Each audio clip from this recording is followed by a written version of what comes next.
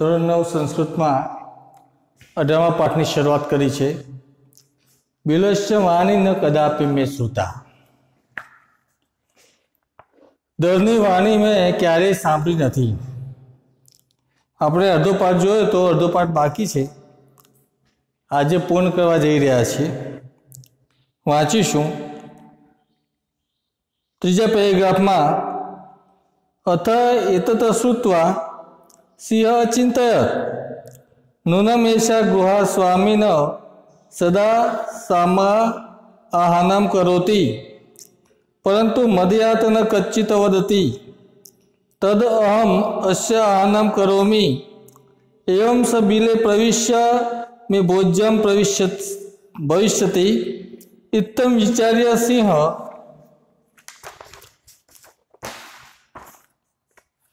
વિચાર્ય सुगालस्य સહસા શૃગાલસ્ય આનમ અકરોત उच्चगर्जनस्य ઉચ્ચ सा પ્રતિધ્વનિના સા ગુહા ઉચ્ચૈ સુગાલમ આહ્યત पशवः भयभीताः પશવ ભયભીતા અભવન दूरं તત દૂરમ પલાયમાન ઇમમ અપઠત અનાગતમ યહ કુરુતે સશુભતે સસુચ્યતે યો ન કરોતિ અનાગતમ વને અત્ર સંસ્થસ્ય સમાગતા જરા બિલસ્યવાણી ન કદાપી મે શ્રુતા.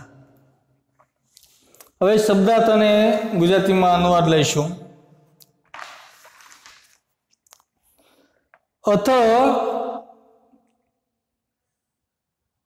એતત શ્રુત્વા સિંહ અચિંતયત નૂનમેષા ગૃહ સ્વામીને સદા સમાહનમ કરોતી. અર્થ એટલે હવે, એતત શ્રુત્વા આ સાંભળીને સિંહ અચિંતય, સિંહે વિચાર કર્યો. નૂનમેષા નુનમ એટલે ખરેખર એ છે એટલે આ ગુહ એટલે ગુફા, દર. સ્વામીને સ્વામીને માલિકને સદા હંમેશા સમાહાનમ, સમા એટલે આવકારે, સમાહાનમ એટલે આવકારવું. સમાહાનમ એટલે કરો, સમાહાનમ કરોતી આવકારે છે. અત એતત શ્રુત્વા સિંહ અચિંતયત નૂનમેષા ગુહા સ્વામીન સદા સમાહાનમ કરોતી હવે આ સાંભળીને સિંહે વિચાર્યું કે ખરેખર આ ગુફા સ્વામીને હંમેશા આવકારે છે પરંતુ મદયાતન કિચિત વરતી પરંતુ મદયાત મદ એટલે મારી બીકને કારણે ન કિંચિત વરતી કંઈક બોલતી નથી. પરંતુ મારે કારણે, મારી બીકને કારણે આ ગુફા કંઈ બોલતી નથી. તત અહમ અશ્ય આનામ કરોમી, તત એટલે તો. અશ્ય એટલે આને આનમ કરોમી, આને હું બોલાવું. પરંતુ આને હું બોલાવું. એવમ સ બિલે પ્રવિશ્ય મેં ભોજ્યમ પ્રવિશતી, અને એવમ એટલે આમ, સ એટલે તે તે કોણ? શિયાળ. બીર એટલે ગુફા દરમાં પ્રવેશ પ્રવિશ્યને મેં ભોજ્યમ ભવિષ્યતિ, મારું ભોજન બનશે.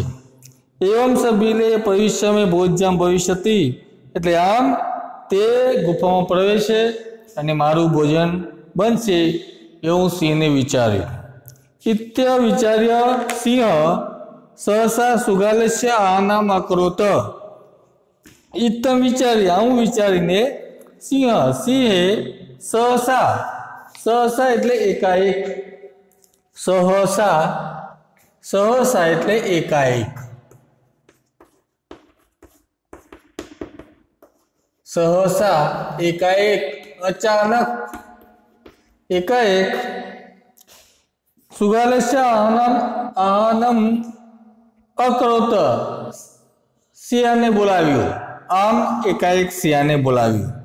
સિંહસ્ય ઉચ્ચ ગજનસ્ય પ્રતિધ્વના સા ગુહા ઉચ્ચૈ સુગાલમ આહ્યત સિંહસ્ય ઉચ્ચ ગજનસ્ય સિંહની ઊંચી ગજનાથી ઊંચા સાદથી પ્રતિધ્વના સા ગુહા અને પડઘાને કારણે અવાજને કારણે સા ગુહા તે તે ગુફા ઉચ્ચૈ સુગાળમાં હત ઊંચેથી શિયાળને બોલાવા લાગી. સિંહસ્ય ઉચ્ચ ગજનસ્ય પ્રતિધ્વન ધ્વનિના સા ગુહા ઉચ્ચૈ સુગાલમ આનમ અકરોત. તો પછી શું થયું? કે સિંહની ઊંચી ગજનાના અવાજથી તે ગુફા ઊંચેથી કોને બોલાવવા લાગ્યું? સિંહાને બોલાવા લાગ્યું. અને ન અન્યપી પશવ ભયભીતા અભવત ન અને અને આને કારણે અન્ય પશવ પશવ પ્રાણીઓ. પશવ એટલે પ્રાણીઓ. બીજા પ્રાણીઓ પણ પશવ એટલે પ્રાણીઓ. બીજા પ્રાણીઓ પણ ભયભીત બન્યા. સુગાલોપી તથા દુરંપલાયમાન સુગાર એટલે શિયાળ. ગયા ગયા પેરમાં જોયું સુગાર શિયાળ પણ. તત પછી દૂર પલાયમાન. અને દૂર અદ્રશ્ય થઈ ગયો. ઇમમ અપટર તને બોલવા લાગ્યો. અનાગતમ યહ કૃતે સશોભતે, સસુચ્યતે યો ન કરોતિ અનાગતમ. હોને અત્ર સંસ્તસ્ય સમાગતા જેરા, બિલશ્ય વાણી ન કદાપી મે શ્રુતા. હવે શ્લોકનો અનુવાદ લઈશું કે યહ અનાગતમ. જે અનાગતમ, આગતમ એટલે આવનારું અનાગતમ એટલે ન આવનારું. ય અનાગતમ જે આવનારું કુરુતે કરે છે, સશોભતે તે શોભે છે. ય અનાગતમ કુરુતે સશોભતે જે આવનારું કરે છે સોરી જે ન આવનારું કરે છે, તે શોભે છે. સસુચ્યતે યો ન કરોતી અનાગતમ. એટલે જે અનાગતમ, અનાગત ન આવનારું, ન કરોતી કરતો નથી. જે ન આવનારું કરતો નથી સસુચ્યતે તે શોક કરે છે. તો યો અનાગતમ ન કરોતી સસૂચતે એટલે જે ન આવનારું કરતો નથી તે શોક કરે છે. વનો અત્રમ સમાગતા જરા. અત્ર એટલે અહીં. પછી વન એટલે વનમાં સંસ્તસ્થ રહેતા જરા એટલે ગડપણ. સમાગતા આવી ગયું છે. તો મને અહીં રહેતા જરા જરા એટલે ગડપણ. અને હું અહીં રહીને ગડપણ ગડપણ આવી ગયું છે. વૃદ્ધ થઈ ગયો છું. પરંતુ બિલસ્ય વાણીને કદાપી મેં શ્રુતા પરંતુ મેં કદી ગુફાની વાણી સાંભળી નથી. ફરીથી એકવાર. અનાગતમ યહ કુરુતે સશોભતે, જે ન આવનારું કરે છે તે શોભે છે. સસુચ્યતે યો ન કરોતી અનાગતમ. જે ન આવનારું કરતો નથી તે શોક કરે છે. વને અત્ર સંતસ્ય સમાગતા જરા, નહીં વનમાં રહેતા મારું ઘર પણ આવી ગયું છે. પરંતુ બિલસ્ય વાણી ન કદાપી મેં સુતા પરંતુ દરની વાણી મેં કદી સાંભળી નથી. તો ફરીથી એકવાર રિપીટેશન કરીશું આપણે. આજે ચલાવ્યું એનું. શરૂઆતથી લઈશું પાઠની એટલે તમારે પાકું થઈ જાય. કસ્મિચિત વને ખર નખર નામ સિંહ પ્રતિવસતીસમાં કોઈ એક વનમાં ખર નખર નામનો સિંહ રહેતો હતો.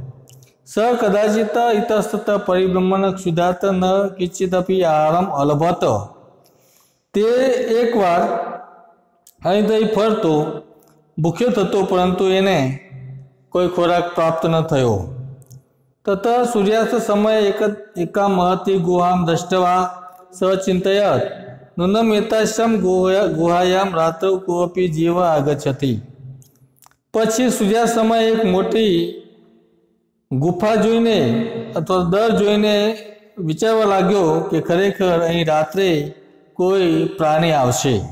અત્ર અત્રૈવ નિગુટો ભૂતવા તિષ્ઠામિતિ. આથી અહીં હું છુપાઈને ઊભો રહું. એતસ્મિન અંતરે ગોયા સ્વામી દધિપુચ્છ નામા સુગાલા સમાગચ્છ. એટલામાં ગુફાનો સ્વામી દધિપુચ્છ નામનો સિંહ ત્યાં આવ્યો. સચ યાવત પશ્યતિ તાવત સિંહ પદ પદ્ધતિ ગુહાયમ પ્રવિષ્ટા નચ બહી આગતા પશ્યત જ્યારે તે આવ્યો ત્યારે જોયું કે સિંહના પગલા અંદર પ્રવેશેલા જોયા પરંતુ બહાર આવેલા ન જોયા સુગાલા અચિંતત અહો વિનષ્ટોસ્મિ તો શિયાળે વિચાર્યું કે અરે આજે હું મર્યો નૂનમ અસ્મિન બિલે સિંહ અસ્તિ તર્ક્યામી ખરેખર આ ગુફામાં સિંહ છે એવું હું વિચારું છું. તત કેમ કરવાની તો હું શું કરું? એવમ વિચિત્ર દુરસ્ત રવમ કરતું આરબ્ધ ભો બિલ ભોલ બિલ કિમ ન સ્મરસી યતમયા ત્વયા સ સમય કૃતો અસ્તિ. યત યદા અહમ બાહ્યત પ્રત્યાગમિષ્યામિ તદા ત્વમમાં આકારિષ્યસી. આ આ વિચારીને દૂરથી તેવા જ કહેવા લાગ્યો. અરે દર અરે દર. શું તું ભૂલી ગયો કે હું જ્યારે બહારથી પાછો આવું ત્યારે ત્યારે મારે સ્વાગત કરવું?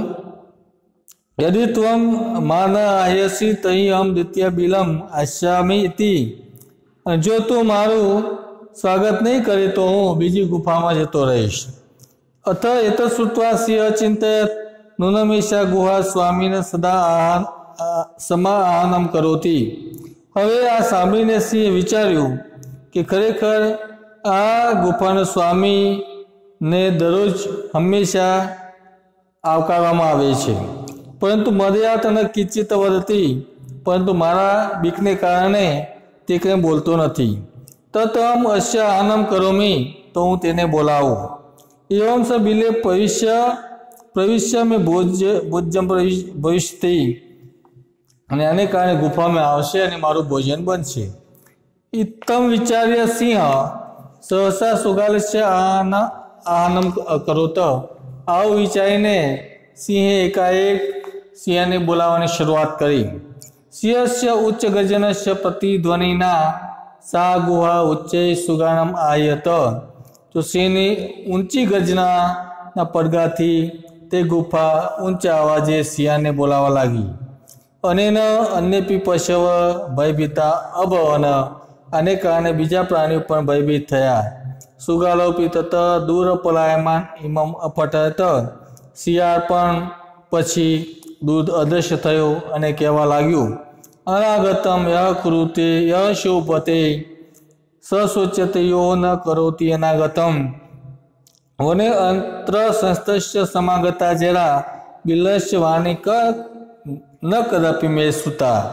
એટલે જે ન આવનારું કરે છે, તે શોભે છે. જે ન આવનાર કરતો નથી, તે શોક કરે છે. અને અહીં વનમાં રહેતા મને ગળપણ આવી ગયું, પરંતુ કોઈ દિવસ દરની વાણી મેં સાંભળી નથી. આવી રીતે તમારી પાઠનો અનુવાદ તૈયાર કરવાનો છે. સામે જોઈશું, સ્વાધ્યાયના પ્રશ્નો આપેલા છે, પેજ નંબર સેવન્ટી થ્રી પર. તો પહેલો પ્રશ્ન વિકલ્પોનો ત્રણ વિકલ્પો આપેલા છે, સાચો વિકલ્પ શોધીને લખવાનો છે. બીજો પ્રશ્ન, સંસ્કૃતના પ્રશ્નો ચાર આપેલા છે. એ સંસ્કૃતના પ્રશ્નો તમારે સંસ્કૃત ભાષામાં લખીને બતાવવાના છે. ત્રીજો પ્રશ્ન, ઘટનાના અનુસાર વાક્ય તમારે લખવાના છે કે પહેલી ઘટના બની, બીજી આ બની, ત્રીજી આ બની, ચોથી આ બની. એ પ્રમાણે ઘટના અનુસાર વાક્યો લખીને તમારે એ પ્રશ્ન જવાબ પૂરો કરવાનો છે.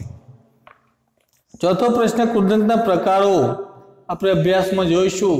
પાછળ આપેલા છે, એમાં કુદરતના પ્રકારો કયા કયા છે અને એ પ્રમાણે તમારે કુદરતના પ્રકારો લખવાના છે. સ્મનો પ્રયોગ તમે શીખી ગયા છો, એ સ્મનો પ્રયોગ કરવાનો છે. છઠ્ઠા પ્રશ્નમાં સમાસમાં કયો પ્રકાર વપરાયો છે, એ લખવાનો છે. સાતમો પ્રશ્ન તમારે પ્રશ્નના જવાબ માતૃભાષામાં લખવાના છે અને આઠમા પ્રશ્ન પ્રશ્નો જવાબ માતૃભાષામાં લખવાના છે અને આઠમા પ્રશ્નમાં તમારે જે વાક્યો આપેલા છે એ તમારે ગુજરાતી ભાષામાં અનુવાદ કરવાનો છે.